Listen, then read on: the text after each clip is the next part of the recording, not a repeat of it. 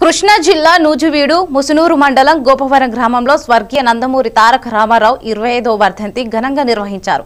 ఈ కార్యక్రమానికి Nuzvid TDP in charge Mudraboina Venkateswara Rao Denduluru నియోజకవర్గ మాజీ శాసనసభ్యులు చింతమనేని ప్రభాకర్ ముఖ్య అతిథులుగా హాజరయ్యారు. ఎన్టీఆర్ విగ్రహానికి పూలమాలలతో నివాళులర్పించారు. అనంతరం అన్నదానం నిర్వహించారు.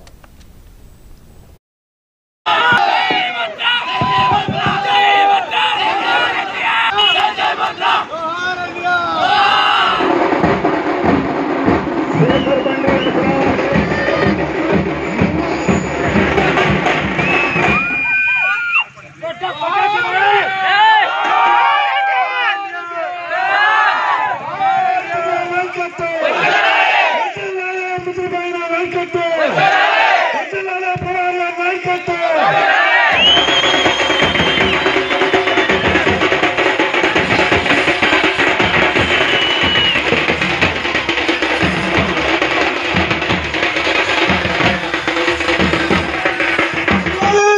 తెలుగుదేశం పార్టీ!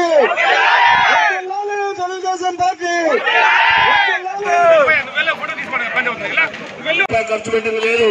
కులాల మధ్య మతాల మధ్య చిచ్చులు పెట్టి రాజకీయం చేసుకొని పబ్బం గడుపుతున్నటువంటి జగన్ ప్రభుత్వాన్ని రేపు రాబోయే రోజుల్లో పంచాయతీలు కానీ మండలాలు కానీ జడ్పీటీసీలు కానీ ఒక్క సీటు పోవాలని కూడా రోజు కూడా ఈ సందర్భంగా మనం చేసుకుంటూ మరి పెద్దలు మరి మాజీ జడ్పీటీసీ సభ్యులు వెంకటేశ్వర గారిని భావిస్తున్నాను నేను నవరత్నాలు అంటున్నావు నువ్వు నవరత్నాల్లో ఏ ఒక్క రత్నమైనా సరే రత్నంగా నువ్వు నిరూపించగలవా అని అడుగుతున్నాను. ఆటో వాళ్ళకి పదివేలు ఇచ్చాను అంటున్నావు ఇప్పుడు ఉన్నటువంటి ఆటో వాళ్ళందరికీ నువ్వు ఇచ్చావా? గుండె చేసుకుని చెప్పు. నువ్వు పదివేలు ఇస్తే వాడు ఆటో రిపేర్ ముప్పై వేలు కడుతున్నాడు. సంవత్సరానికి. దాని మీద